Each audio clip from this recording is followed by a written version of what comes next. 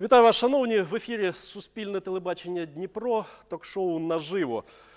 Е, В Дніпрі е, не те, що продовжується, а набирає нових обертів епопея з ремонтом нового мосту. Нагадаю, в березні власне почалися ремонтні роботи. Міс, е, проїзд через міст був перекритий ну, частково. Тоді на ремонт виділила е, з міського бюджету 177,7 мільйонів. Потім до цієї суми додали вже в серпні ще 71,5 мільйон. Ну і власне, коли почалися ремонтні роботи, спочатку ні у кого нарікань не було, тому що ну треба ремонтувати міст, значить треба. Але потім, коли влітку активісти, е, журналісти почали спостерігати за, за тим, що ну власне якось на мост. На мості не спостерігається ну такої стройки віка. І почали дорікати, мовляв, чи встигнемо такими темпами. Міська влада тоді е, говорила, що встигнемо, і мовляв, треба буде будівель, треба бути будівельником, щоб розбиратись в будівельних роботах.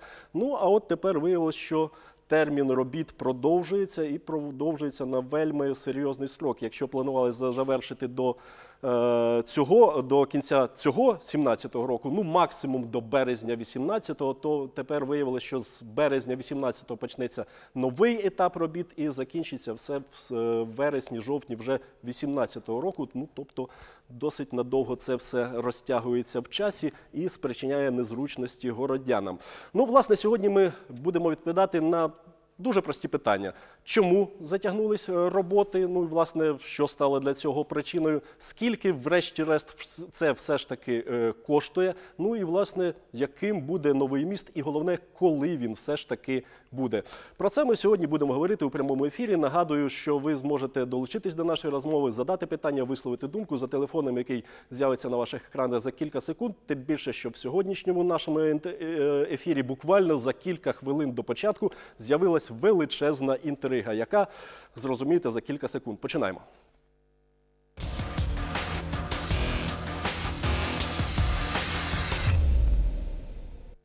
Отже, е, шановні, сьогодні у нас ну така дивна конфігурація. Ви бачите, що з одного боку є спікери, з іншого боку немає спікерів.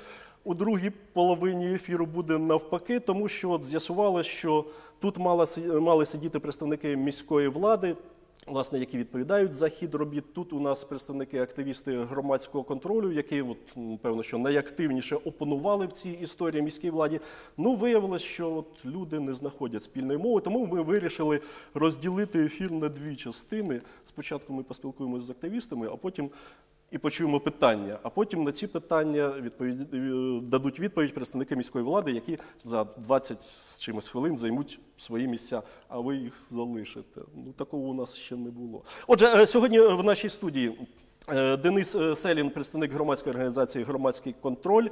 Е, Помічниця депутата міської ради е, Юлія Ткачук і власне голова е, громадської організації Громадський контроль Артем Романюков. Добрий вечір. Ну, от, шановні, я сподівався, що от будуть наші гості. І хотів, знаєте, з чого почати розмову з, з вами? Що, певно, ви от зараз сидите і відчуваєте таке м, внутрішнє. Ситуація взагалі та складна і непроста, і, е, але тим не менш, можливо, таке внутрішнє м, задоволення, що а ми ж говорили, ми попереджали, ми ага, от чи нема такого відчуття у вас? Смотрите, то есть ситуация немного надо смотреть по другим углом. То есть э, в прошлом году у нас было расследование по лифтам. Во время расследования по лифтам Михаил Лысенко публично говорил... Давайте подождите, зараз не подождите, про да- лифт, давайте я про поясню мост. ситуацию, которая сейчас идет. Э, То есть э, он публично говорил, что вы врете.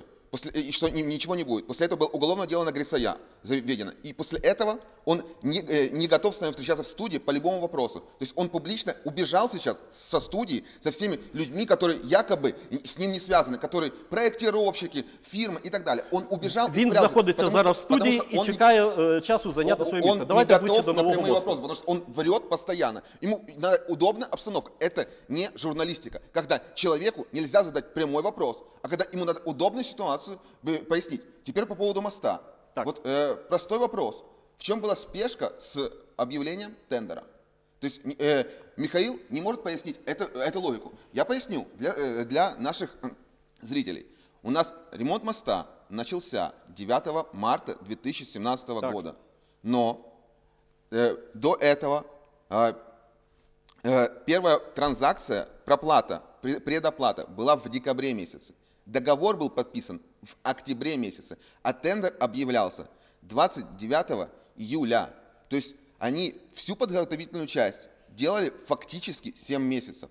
То есть почему, почему это делалось? Потому что 29 июля это был последний день, когда можно было делать бумажные торги. Бумажные торги. С 1 августа вступала система Прозора.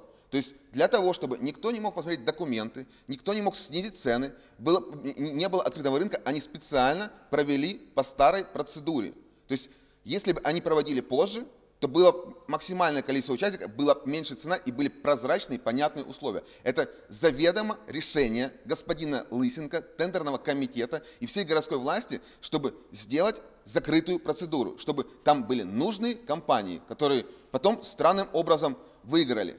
То есть, и, э, а ряд компаний странным образом дисквалифицировали, и, и- и непонятно, были ли у них эти пакеты документов, либо не было. То есть Дивіться, те, що ви зараз говорите, це е, звинувачення. Чи звертались ви е, в прокуратуру, наприклад? з цим? Конечно. Это логический ряд. Логический ряд, где я вам пояснил, что они заведомо делали все, чтобы сделать бумажные торги. То есть это все ляжет в случае расследования НАБУ в отдельный проток- э, протокол расследования. То есть вот эта вся процедура, как они проводили. Вы спросите, в чем была спешка? Спешка, потому что я вам разложил по, по датам, то есть я могу назвать конкретно даты. То есть они провели заранее, а начали э, делать любые работы, черт знает через какое время. Давайте Никто- начнем с Добре, того, да- что просто, э, во-первых, тут была сказана фраза, что друг друга не переносят там какие-то люди. Мы здесь сидим в студии, и мы ждали гостей. Гости, когда зашли, увидели нас, они просто отсюда убежали. То есть давайте называть вещи своими именами и поставили ультиматум, причем подставляя и вас, и, и нас, и, и, весь телеканал. Они убежали прямо из студии. Это первое. Второе. А, Для чего это делалось? То есть само по себе, э, само по себе то, что тендер прошел за два дня до э, внедрения системы Прозора, не преступление. Хотя очевидно, для чего это было сделано. Но а, Тобто За, за порушення закону немає. да, а преступление это то, как прошел этот тендер и почему в итоге в этой бумажной старой э, процедуре, которую можно было провести прозрачно, подождав два дня, а как Денис объяснил, время было ждать, 7 месяцев на подготовительные работы было, значит можно было два дня подождать и провести э, тендер через Прозоро в электронном формате. А почему проводили так? Потому что выиграла фирма, которая принадлежит фактически э, отцу секретаря городского совета на тот момент э, э, Мишалова. И вот это и была цель для того, чтобы проводить э, поспешно эти торги 29 июля в бумажном формате, для того, чтобы протащить туда эту фирму. И сейчас здесь должны были быть представители этой фирмы, которым я хотел задать прямой вопрос. Они же отрицают, что они связаны с Мишаловым. Я бы хотел у них просто спросить, а, на самом деле, э, чтобы они на камеру подтвердили, что нет, мы Ви не маєте на увазі контролируем е, компанію Майстер Профі. Мастер, завод Мастер Профи, Завод. который через, э, там есть прямая связь, ну почти прямая связь, который через своего А, е, учредителя ди- Дивіться, принадлежит тоді Мишалову. е, до вас питання. Е, щ- Якщо у вас з самого початку виникали е, питання, я так розумію, по тендерній процедурі, е, ваші дії, тому що пройшло вже понад рік рік і Смотрите. чотири місяці, да? Смотрите, то есть від того у нас тендеру. є чітке взаємодія с полицией, с отделом по борьбе с экономическими преступлениями. Они ждут, когда будут э, э, завершающий этап. То есть на этапе предварительном им крайне тяжело фиксировать э, все вот эти моменты. Они все это фиксируют сейчас, и то есть, когда будет завершен сдан мост, тогда уже, скорее всего, будет дальнейшее расследование. То есть это логика правоохранителей, как они ведут дело. То есть они не Сейчас могут... непонятно, сколько украли, грубо говоря. Пока не подписали акт выполненных работ, нельзя оценить ущерб. То есть они не могут э, сейчас э, предъявить кому-то э, претензии, потому что есть только авансы. То есть вот э, Артем может по цифрам рассказать, то есть на сейчас больше 100 миллионов уже перечислено. 102 То есть, миллиона. Но это все они делают как авансовые платежи. Ни одного акта фактически по мосту не подписано до сегодняшнего дня. Ну, ти- тим більше, що ремонт мосту продовжується. Да, то есть, ну, но как делать в других слу- случаях? Обычно сделали часть вид работ, подписали акт на этот вид работ, что он завершен, по нему прошла полная проплата. Ну вот у нас выписаны следующий. платежи, есть здесь. Там фактически нет ни одного акта. То есть там есть... А несколько який може бути на сьогодні акт, якщо роботи не по всему тривають? мосту. То есть, смотрите, то есть, э, сделали ремонт, э, э, замену балки. То есть по ней подписали акт, вот замену балки. Э, э, сняли покрытие, подписали акт, что сняли покрытие. То есть вот сейчас у них может быть... Зрозумів. Я зрозумів, що у вас є доріка. Ну, Денис, е, я- е, Яка ваша претензія? Ви пропонуєте, щоб е, роботи на мосту розбивались по етапу. Зробили щось, замінили бал- балку, підписали акт по цій Ну, я тут е, вынужден балці. да? Дениса поправить. Отак тут має есть бути. акты ну, там некоторые. ак- актов очень мало. Ну, они есть, скажем так. Они здесь есть, то есть не так, что прямо совсем. Ну, из 102 миллионов какая-то сумма тут по актам все-таки Там закрывать. акты по балкам и еще по нескольким Ну, вы же нескольким поймите, небольшим работам. сумма Всё. договора просто большая, и для того, чтобы э, зафиксировать уже окончательно, ну что вот люди сдали мост, вот они его сделали, то, естественно, в логике правоохранителей, когда они ведут такие дела, э, нужно, чтобы закрыт был объект, и тогда уже можно будет говорить о каких-то... Про яку суму, до речі, ми говоримо? Е, 177,7 мільйонів це е, той тендер, е, про який ви говорите. Да? Да. Це він був у липні 2016 року. Да. А потім же ж е, була ще доплата, е, ще Дополнительна. було виділено Ну, 71,5 Теперь мільйонів. рассматриваем следующий момент. А, Уже в следующее- серпне след- 2017. Следующее вранье нашего городского головы, м- мэра Филатова и господина Лысенко. А, В эфире в июне месяце Скрипину они заявляли, что никаких доплат, ни- ни- ничего не будет. Только уже в мае месяце а, Они подали документы для того, чтобы увеличить сумму. То есть для того, чтобы увеличить сумму, им нужна дополнительная экспертиза и внесение правок в проект. То есть они это все начали делать уже в мае месяце. Все уже знали, что оно проходит экспертизу. Только на камеры господин Лысенко, господин Филатов заявляли, что сумма не будет увеличена. То есть они заявляли это вплоть до 2 августа, если я не ошибаюсь. И именно из-за того, что мы сейчас прямо этот вопрос могли бы задать, я вас очень прошу это сделать, э, когда они здесь будут давать соло, э, спросите, пожалуйста, почему так получилось, почему в Прозоро не пошли, ни два дня не подождали, почему э, врали про то, что не будет увеличиваться сумма. И скажи, и очень хочется спросить, почему пункт 13 договора, например, подписано, вот он у меня есть с собой, почему и в договоре, и в дополнительном соглашении в пункте 13, который предусматривает ответственность сторон, так от здесь е, написано, я можу даже зачитати. У разі порушення з вини підрядника сроків ви- виконання робіт застосовуються штрафні санкції в розмірі 120% від облікової ставки НБУ, які встановлені на момент закінчення сроку виконання робот за кожен день просрочення. А теперь объясняю для телезрителей на понятном языке, что здесь написано. Здесь написано, что штраф, штрафные санкции за каждый день это 120% от учетной ставки НБУ. Учетная ставка НБУ это тоже процент. Ви вже порахували? На скільки сегодня це это буде? 12,5%. Ну, то есть это где-то 15% получается. Но в чем загвоздка? 15% от чего? От ничего. Здесь не написано, от чего считается это, э, это, эта процентовка. Таким образом, срывать сроки по мосту, э, уважаемые телезрители и э, ведущие, срывать сроки по мосту можно до бесконечности. Потому что штрафных санкций здесь нет. Здесь написано 120% от 12,5% от ничего. Я поясню. То есть э, вот то, что я начал говорить. Второе, э, было подписано дополнительный договор, то есть на 70 миллионов. То есть было 170 миллионов изначально, и 70 миллионов в августе еще подписали. Так вот, а, к тому договору есть четкий график выполнения всех видов работ. Вот как вы думаете, когда там должны было- были ложить асфальт? В каком Ну, месяце? я- якщо мали запустити до 30 числа цього місяці, то ну як мінімум Они в за місяць. октябре должны были фактически закрыть э, вопрос по асфальтному покрытию. Вот этот график. То есть э, э, там это было все указано. То есть они э, уже с сентября четко нарушали весь график работы уже по второму дополнительному, дополнительным 70 миллионов, по договору на 70 миллионов. Уже там четко было видно, что они нарушают. Но все заявляли, что мы все успеем, все окей. Это заявляли городские власти, это заявлял господин Лысенко, за- остальные чиновники говорили, что типа, мы все успеваем. Денис, вот как раз график сейчас в кадре, и смотри, то есть там до, г- до То есть там э, можно декабря увидеть, месяца то есть, закончены все работы. Вот последняя Последний- отметка это последняя декабрь. колонка Это декабрь. А вот Ну е, добре, з- е, зрозуміло. Е, Дивіться, графіки зірвані, правильно? Ответственности за это нет. Е, І в договорі. договорі Ви стверджуєте, е, що Це не власне, ми, це е, юристи так відповідальність з самого початку не була передбачена. Не брала- э, ее не было ни в э, основном договоре, ни в дополнительном соглашении. То есть это не может быть случайностью, хотя, потому что мы обращали на это внимание еще когда был, не было дополнительного договора. Мы писали об этом, говорили, что, ребята, надо предусмотреть ответственность. Если бы там было написано, например, что эти проценты берутся от суммы договора, или хотя бы, бог с ним, написано, что от суммы просроченных обязательств, Ладно, это можно было бы как- как-то посчитать. Как считать эту чушь, которую здесь они написали, в таком серьезнейшем э, договоре на такой серьезный объект, я не знаю.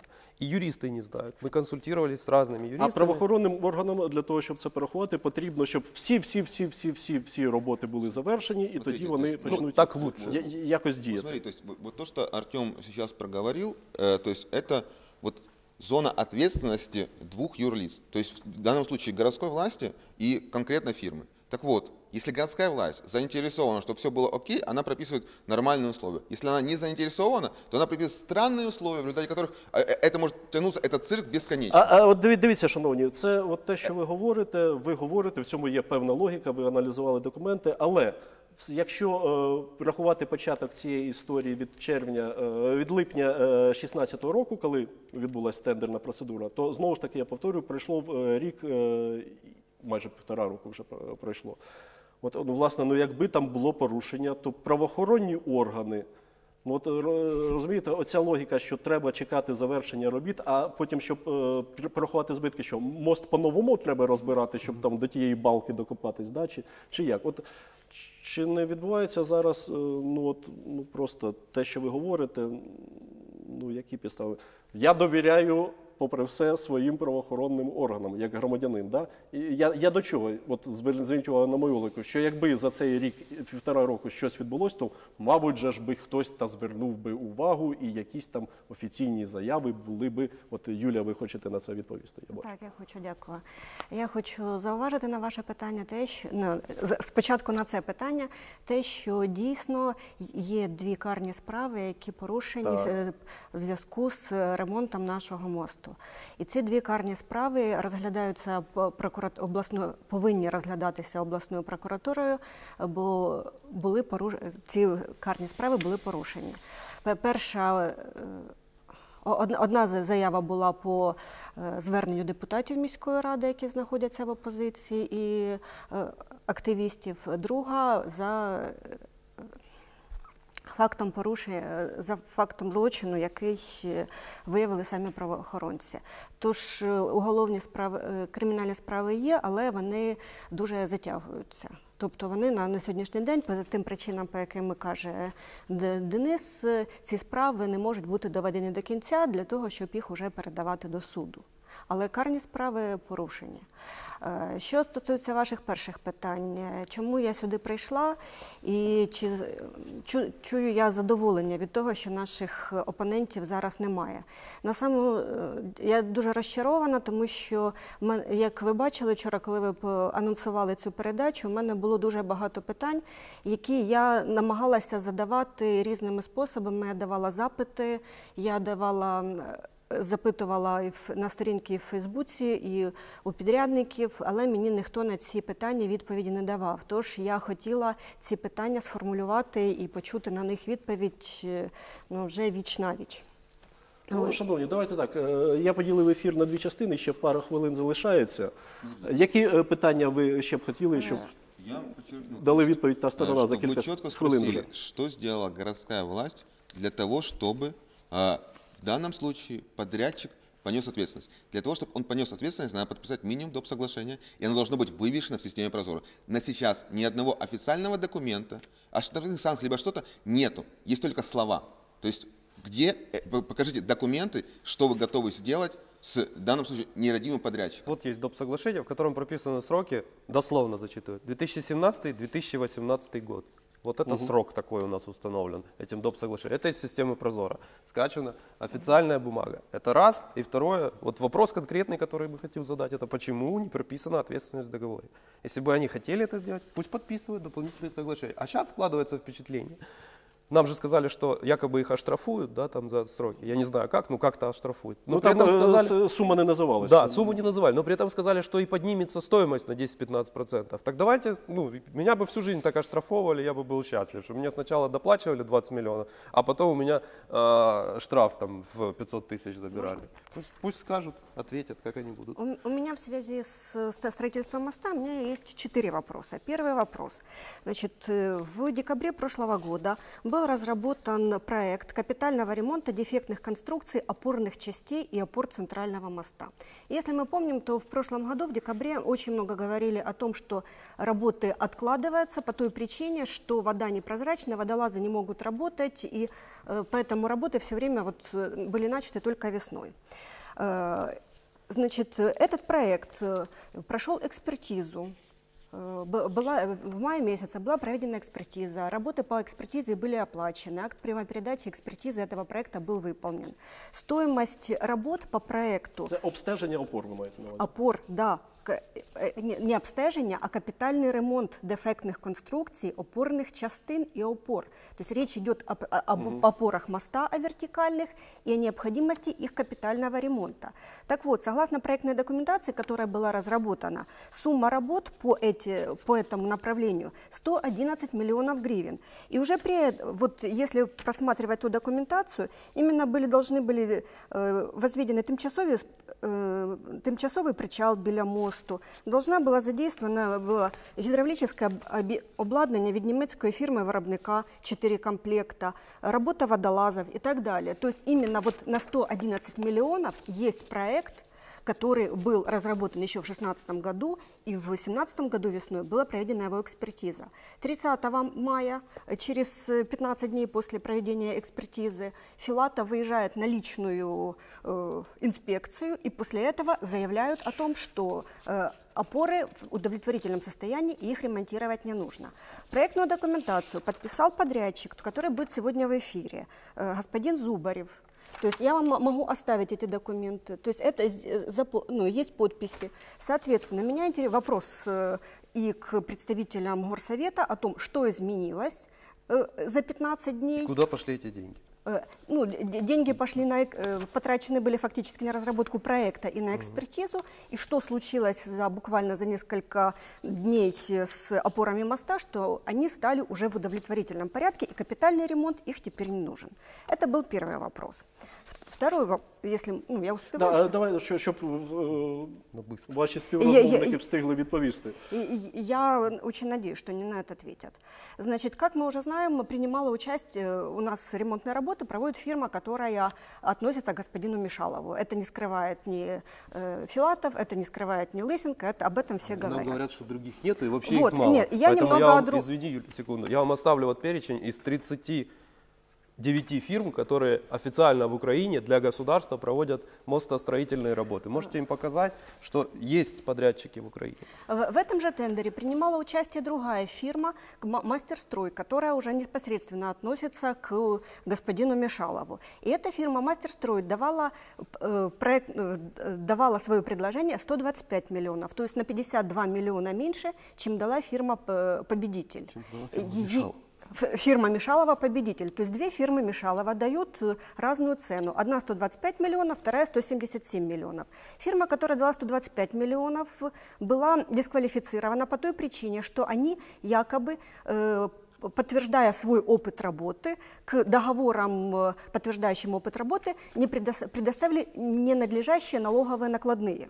То есть договоры э, правильные предоставили, акты выполненных работ правильные, налоговые накладные предоставили неправильные. Их дисквалифицировали по этой причине. Соответственно, в результате там еще ряда дисквалификаций победила вторая фирма Мишалова с предложением 177 миллионов. Вот, вот этот, э, ну как, я, я даже не знаю, как- каким словом сейчас это обозвать, но когда две фирмы одного и того же человека, Это называется повязывание особы. Это обязанность тендерного комитета это проверять. То есть тут напрямую сговор, э, скорее всего, по моей точке зрения, сговор тендерного комитета и этих фирм. То есть это сго- э, повязывание особы. Это обязанность тендерного комитета проверять эту связь. Они этого не сделали. Вот, ну, то есть 52, про- давайте я договорю, 52 миллиона, ну, цена вопроса была 52 миллиона. Э, налоговых накладных. Ну, давайте, как, ну, вот я бы хотела услышать э, мнение, л- вернее, э, департамента, как, как они проводили тендер. Следующий вопрос. Нам на- все, которые пресс-конференции, которые были связаны с мостом, они нам говорили, что увеличение на 71 миллион связано с тем, что были обнаружены дополнительные работы. Если мы посмотрим проектную документацию, которая была разработана в 2015 году и которая была оценена в 177 миллионов подрядчиком, мы увидим, что там речь шла и о деформационных швах, которые нужно было заменить. Это именно те деформационные швы системы Мауэр, которые сейчас обосновывают увеличение сметы, а говорят о том, э, э, Наши оппоненты говорят о том, что э, они, не зна- они не видели, что деформационных швов там нет. На самом деле они видели, и в эт- они знали об этом, и в проектной документации об этом сказано, что деформационные швы, их фактически не существует, и их нужно менять. И проектом было предусмотрено установка деформационных швов типа Мауэр. Поэтому на увеличение суммы это не могло повлиять. Втор- Тому що це було закладено. Потом, это было заложено. закладено. Это было заложено. Был заложен также полностью снятие покрытия. Когда нам говорят о том, что нужно было, э, вдруг э, снимали покрытие и обнаружили металлическую сетку, которую нужно пришлось снимать алмазными ре. Так вот, согласно проектной документации, снятие защитного э, покрытия бетонного, которое было армировано, и об этом тоже говорится в проекте, который на 177 миллионов. То есть его нужно было снять полностью до выравнивающего слоя. То есть фактически как бы те, те, тот объем работ, на который сейчас ссылается э, подрядчик, о том, что э, оказывается это только выяснили, в проектной документации 2015 года эта информация есть и это учтено. Обычно так 177 делается для того, чтобы фирма зашла, которая нужна, потому что она может дать меньше цену, и она прекрасно знает, эта фирма, что она потом получит дополнительные деньги просто и догонит эти деньги. Я вот Шановні, я е, дякую вам за питання. Тим більше, що більшість з них я, я і сам хотів задати. От, е, Ну, я бо як давайте вчора по- всі поки виклала. що ми е, нашим глядачам запропонуємо. Ну, наша знімальна група традиційно вийшла на вулиці міста і запитала думку городян щодо цієї ситуації. І можливо, зараз у нас будуть мінятися спікери містами місцями. Я не знаю, скільки це часу займуть, і потім вони ще пересічуться. Я піду, е, буду брати участь в процесі, щоб не побились. От, а ви тим часом подивіться, будь ласка, наші сюжети.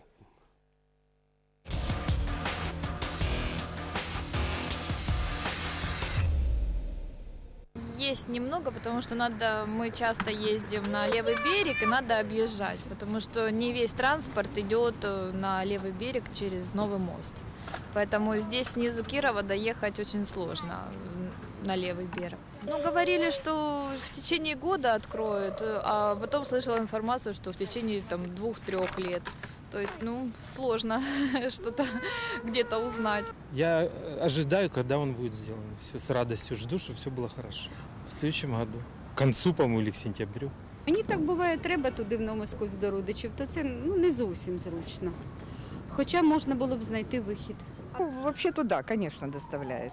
Да. Там у меня родственники живут на, на той стороне, поэтому вот чтобы ко мне приехать или мне туда добраться, это м, про- достаточно проблематично. Для мене це не актуально. Я дуже рідко користуюся цим шляхом.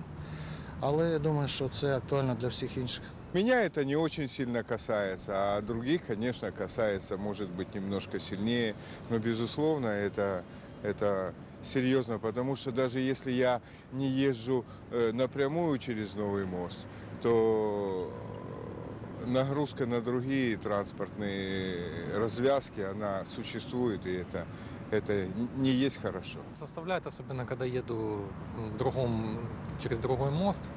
И пробки, все вот это вот, конечно, составляет неудобство. Не только для меня, для всех. Особенно в час пик, когда добираешься на работу, когда едешь с работы. Из разговора из моих друзей, да, у них неудобства. Опоздание на работу, постоянно пробки, аварии. В принципе, нет, потому что через Новый мост маршрутки проезжает. Вот. Так что я думаю, что нет. Наоборот, я считаю, что молодцы, что мост э, приводят в порядок, ремонтируют его. Понятно, что это дискомфорт, это понятно. А как- каковы проблемы вот там, почему? Были одни сроки, стали другими. Э, Дело в том, что, очевидно, там уже какие-то подводные течения, где-то кто-то что-то сделал не так.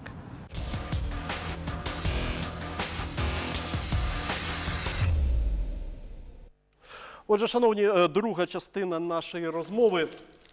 Зараз ми почуємо е, позицію власне міської влади. Отже, в нашій студії заступник міського голови і директор департаменту благоустрою та інфраструктури Дніпропетровської міської ради Михайло Лисенко. Е, Вітаю вас, пане Михайле. Також в нашій студії. Ну, Давай, давайте я от пана. Я трішки заплутався. Ви вибачте, у нас сьогодні. Да. Е, Олександр е, Цирюльников в нашій студії, директор комунального підприємства Дніпро Автоміст. Е, Будь ласка, Олександр. Далі, от за Олександром, у нас директор заводу майстер профі Михайло Світлинець. Е, Вітаю, пане Михайле. Також з цієї сторони в нашій студії.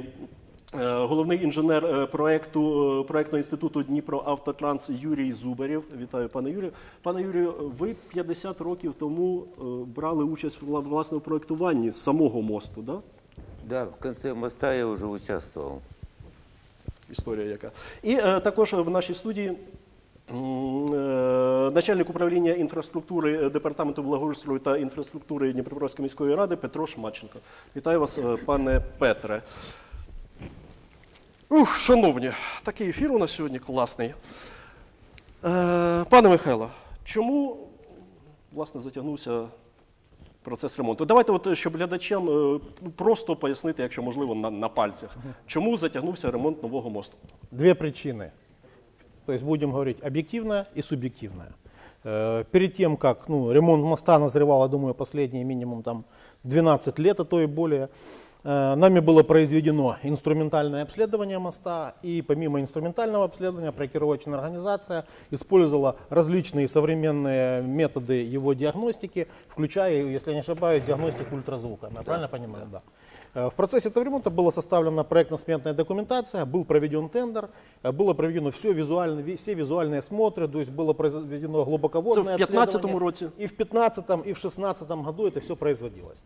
После чего мы приступили к работам, все нормально, все хорошо, и в процессе того, в процессе демонтажа э, части элементов, демонтажа асфальтного покрытия, демонтажа старых деформационных швов, демонтажа других тротуарных частей, появились объекты, которые визуально никакими способами определить было невозможно. То есть, ну, Наприклад. Ну, например, допустим, вот у, у нас в проектной документации, которая изготовлена вами еще там, когда в 50-е годы, у нас проектная документация не соответствовала действительности. То есть образно, согласно проекту, у нас должен быть на плите, на плитах должен лежать выравнивающий слой. Мы подняли там выравнивающего слоя нет, там лежит сетка, огромная сетка из арматуры, которой нет, ее нигде не было, она не была предусмотрена. Э, Допустим, другой вариант, у нас э, перепады по плитам которые лежат на ригелях, у нас составляют до скольки? До 50-60 То есть до 5-6 миллиметров. То есть перепады. Хотя максимальная нормативная максимум ну, до, до сантиметра. Это предел. И то уже это неправильно. И такое количество объема работ, то есть э, оно выросло. Плюс э, вторая вина, несомненно, вина подрядчика. Об этом никто не будет говорить, когда они увидели, что объем работ увеличился, они, соответственно, должны были увеличить количество сотрудников. Мы проводили с ними все оперативки, все совещания, причем каждое наше совещание фиксировалось на видеокамеру, то есть ни одного совещания... Підрядник пан Світлинець. Совершенно верно. То есть мы на протяжении всего времени говорили о том, что у вас увеличился объем, добавьте людей, да сейчас, да нет, мы успеем, сейчас вторая смена, добавляются люди, то есть и... Э, Вибачте, пан- пане Михайло, але ж це ви говорили аж до е, вересня місяця, що ми встигаємо, ми встигаємо, ви Совершенно встигаємо. верно. То есть до сентября, до сентября месяца то есть мы успевали. То есть когда а, объективно то есть шли к тому, то есть они добавили людей, потом людей они сняли, потом переставили на другой объект. Объективная была ситуация. и самое последнее, когда у нас вылезла проблематика, э, проблема с балками, там, где обнаружились э, поврежденные пучки, когда мы к ним уже дошли, то есть образно, у нас по проекту было там ремонт балки. Когда начали производить его оббитие образно, то есть то, чего раньше не делали, увидели, что там пучки там повреждены полностью, требуется там образно, ну, если так грубо говорить, не косметический ремонт, а, А під час обстеження це Нет, невозможно, неможливо? невозможно было. Доступа к ним в тот момент доступа к ним не было. Ну как вы залезете под асфальтное покрытие? Ну, шурф зробити. автом- Да ну какой шурф? Ну это вам проектировщик отдельно расскажет. То есть объективно появился дополнительный объем работ. Э, Это объективно. То есть смотрите, ну прекрасно же можно было сделать так, как делали всегда, сказать, а что там, там проблема такая, сколько еще простоит, 25 лет простоит, не надо ничего делать, давайте, чтобы люди все были довольны, быстренько это все закатаем, визуально ничего не будет видно, он еще 15 лет простоит, а через 15 лет мы там опять сделаем капитальный ремонт. Но на это никто не пойдет никогда. То есть поэтому э, подобные ремонты, они делаются, то есть на- по нормативному этот ремонт должен был производиться 25 лет назад. То есть Ну, в 25 лет назад. 2002 році був ремонт. Нет, это был ремонт, это был ремонт дорожного покрытия, капитальный ремонт дорожного покрытия. Туда не входили ни деформационные швы, ни ограждения, совершенно ничего. Был капитальный ремонт дорожного покрытия. Все. Давайте тепер е, про те, що вам закидають, ну в тому числі е, опонуюча сторона, яка, з якою у вас така рокіровочка сьогодні вийшла. Е, по тендеру. Тендер був проведений е, в, кінці липня 2016 року за кілька днів до того, як вступила в силу система Прозоро, і вам закидають те, що ну власне ви спеціально так все під, е, підлаштували, е, щоб тендер виграли потрібні люди. І тут же одразу, пане Світлинець, чи маєте ви стосунки і які з паном Мішаловим, який на той час був секретарем міської ради? Кому первому отвечать? Я Давайте так, скажите мне, пожалуйста, то есть, ну, для людей, которые не совсем разбираются, а чем тендер отличается от тендера в Прозоре? Прозора? Я вам скажу, ничем, совершенно никакой. Процедура прохождения тендера в разы сложнее, чем процедура прохождения э, того же, в той, в той же Прозоро. В Прозоро может Допустим, например, если на тендер мы подаем всю документацию, ее, допустим, реально видно, в Прозоро существуют там разные моменты. То есть, ну, мы на этом не будем останавливаться. А Когда объявили тендер, законодательно это никаких нарушений не было. То есть, или вы предлагаете нам, а давайте подождем еще не несколько дней, там разница была, по-моему, около трех месяцев. Давайте подождем трех месяцев, когда запустим Прозоро, и тогда его прот- протендерим. Его надо было объявить еще на 4 месяца назад. Просто была проблема с проектной документацией. По- Получили высновок, получили заключение Укрдержстройэкспертизы пятой категории, объявили тендер. Никаких проблем, никаких нарушений не вижу. Пусть теперь Михаил Иванович расскажет про сына своего. Смотри. У- У меня, э, ну как, Мишалова э, Дмитрий я знаю давно, но он не является ни моим учредителем на, на сегодня то данного предприятия, которое я руковожу. И зачем смешивать фамилию Мишалов к мосту или к моей деятельности? Добре, це ви вже, ви вже неодноразово про це заявляли. Але от про те, про ті дорікання, які власне від е, пана Лисенка е, почули ми про те, що е, в тому числі з вашої вини е, було е, м, за- за- затягнути ремонт мо- мосту. Чи це пан заступник голови на вас стрілки просто переводить? Ну, в какую-то степень вины э, я себя не снимаю, так? Э, но э, поймите, когда э, я ставлю тротуарные блоки и э, блоки э, центрального ограждения, мне надо поставить деформационный шов, э, закрыть это самое, сделать, э, то есть, будем говорить, я не мог поставить на 40 осей людей, 40 кранов, и чтобы блоки их смонтировать. То есть идет постепенно. После того, когда сняли э, проезжую часть, покрытие проезжей части, надо было практически все торцы балок ремонтировать. То есть дополнительное э, то есть бетонирование. Я, я- я объясню, пока их не подняли, торцов не было видно. Да. Их Це просто зрозуміло. визуально невозможно было А определить. дивіться, а вести роботи з двох кінців мосту, от е, ко- коли бан, балки міняються по У поступово. нас движение по той стороне. Во- Вопрос не в этом. Вопрос в том, что э, если проектный размер между осей балок, ну, будем говорить, от оси шва до оси шва, там 33 метра 900 сантиметров, да, реально плавало от 100 до 150 миллиметров э, размер. То есть, когда мы сделали, изготовили блоки, и надо поставить шов, мы должны вставить блок замыкающий, мы потом дополнительно делали блоки там, на 70, на 80, на до 150 метров короче и длиннее. То есть это нас просто сдерживало технологически. Тобто е, ви говорите про такий собі е, ефект доміно, тільки навпаки, що е, спочатку одне, потім друге, потім третє робиться. То Тобто ну, технологія. пішла, по-другому просто у нас е, я буду швидко питання задавати, тому що щільний ефір. Е, щодо опор, Е, спочатку говорилося про те, що ну найбільша проблема, от хто прокоментує це, це наші е, опори мосту. Вони в аварійному стані, і те, що по- по- побачили, мовляв, водолази під час обстеження, це жах. У меня в проекте такого нету. Я скажу, то есть у нас было предварительное а, обследование моста, то есть там имела проблема а, подмытия песка, и как в дальнейшем мы определили, то есть было несколько водолазных обследований, было глубоководное обследование. Дело в том, что мост стоит, он же не просто, что там песок, в песке стоит опора и все. Там, если я не ошибаюсь, они стоят на сваях, сколько глубиной?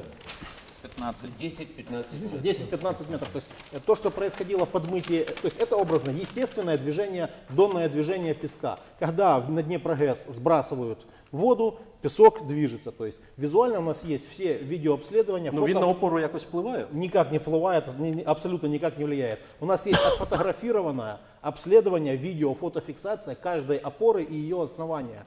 То есть, ну, поверьте мне, если бы требовался ремонт, и она бы, она бы, то есть никто бы на опорах не экономил, думаю, проектировщик нам расскажет больше. То есть те, которые занимались этим. Так, а, власне, що тоді відбулося з опорами? Їх взагалі ну, там все нормально? Не, ну вы З же говорите з за ваших подводную часть, а там же еще больше. Расстроите, пожалуйста. Да? слів. Поки що про підводну частину. Да, будь ласка, е, пане Юрію.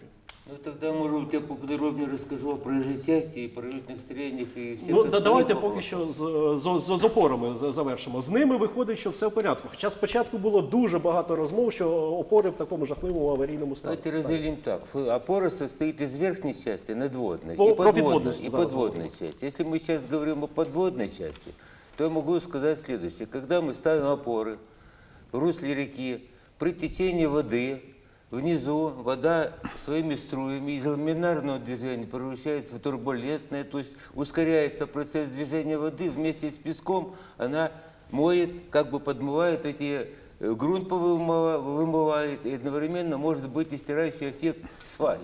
Так. Вот э, с помощью Михаила Александровича нашли водолазов, которые опустились и прошли по всем столбам, по всем опорам. Сделали даже искусственный местный подмыв.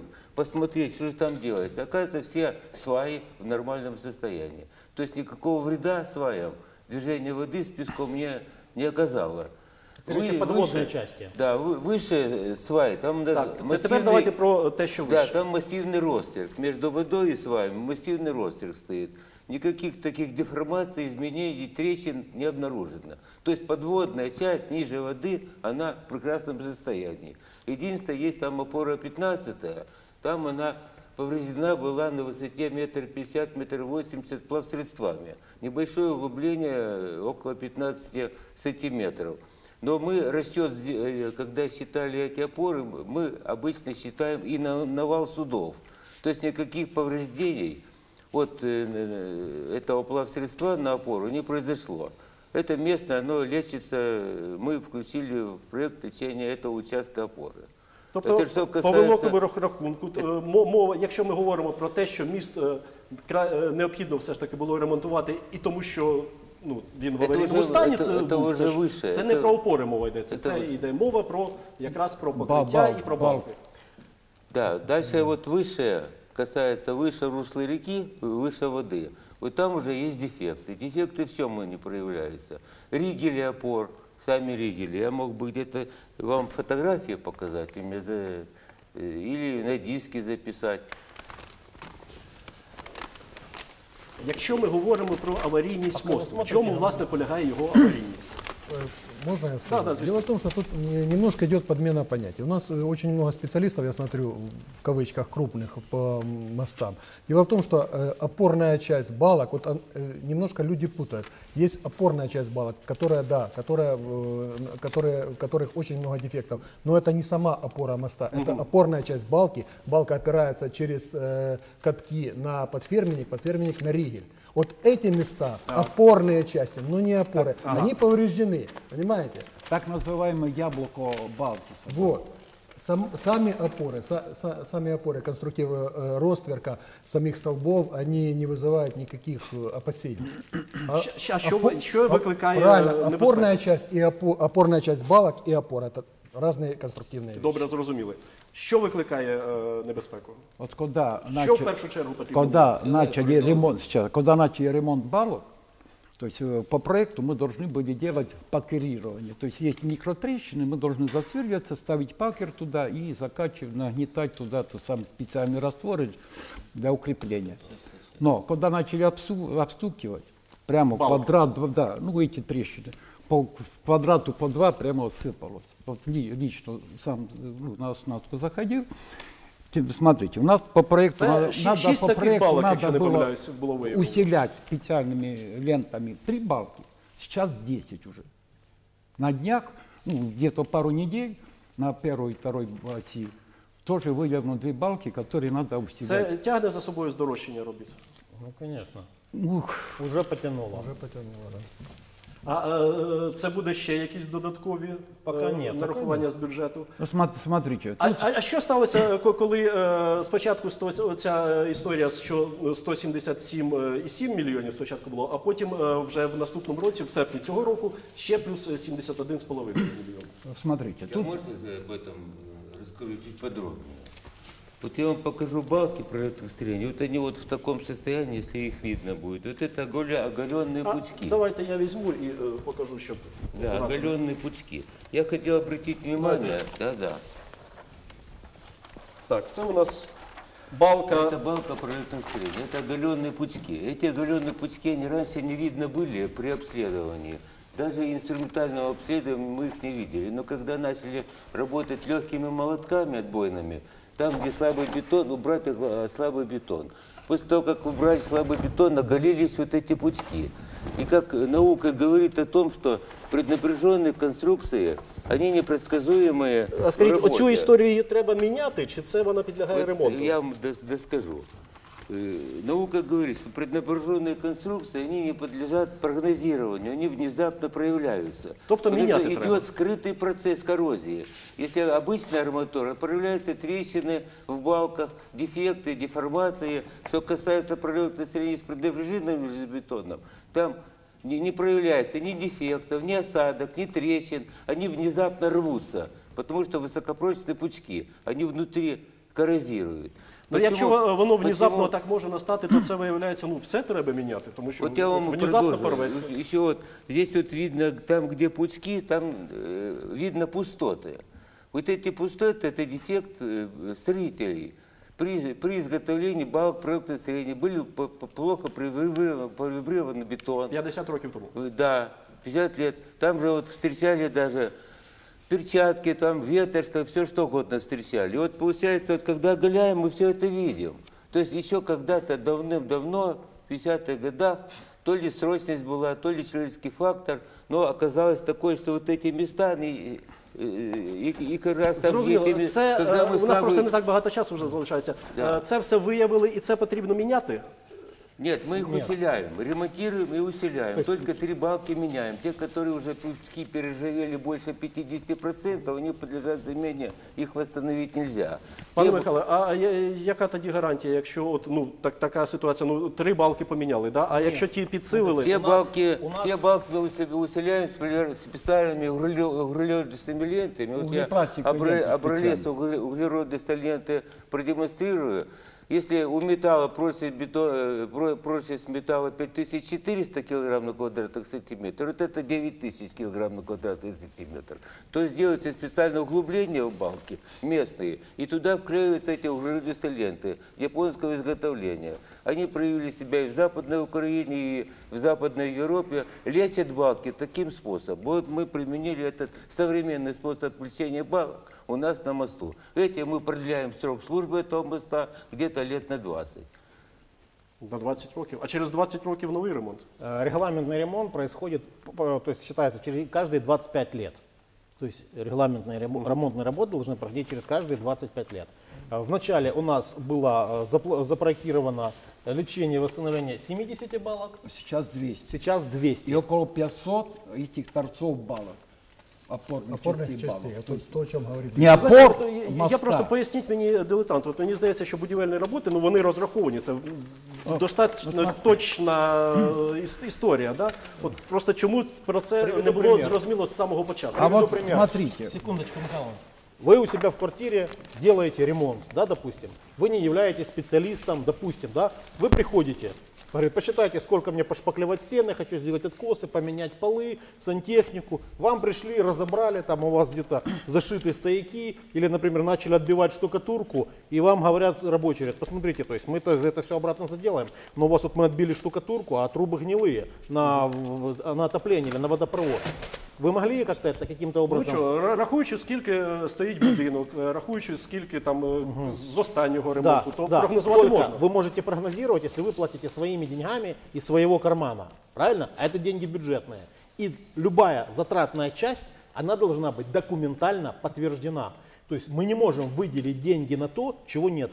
Кто мог определить, что в таком основании, что в таком э, состоянии э, торцы балок?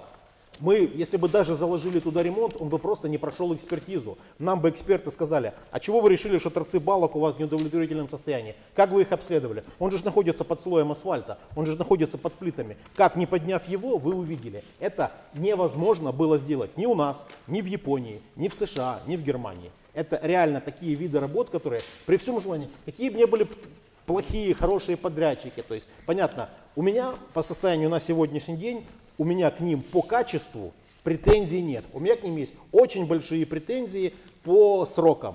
По качеству у меня к ним Ну, от вопросов я, нет. якраз у нас ду- дуже швидко все спливає по строкам. Що ми будемо мати, скі- скільки це все е, ще буде тривати? І Э, як- в які- Значит, в якої- в мы, якій пере- формі? мы полностью перекрываем мост с субботы, на, с пятницы на субботу, ночью, в ночное время, потом с субботы на Це воскресенье. вже сьогодні. Это сегодня ночью у нас движение будет полностью перекрыто. Мы заканчиваем восстановление асфальтного покрытия на той части, которая отремонтирована. И следующей ночью мы зафрезеруем все то старое покрытие, которое не подходило, не, на котором не происходил ремонт.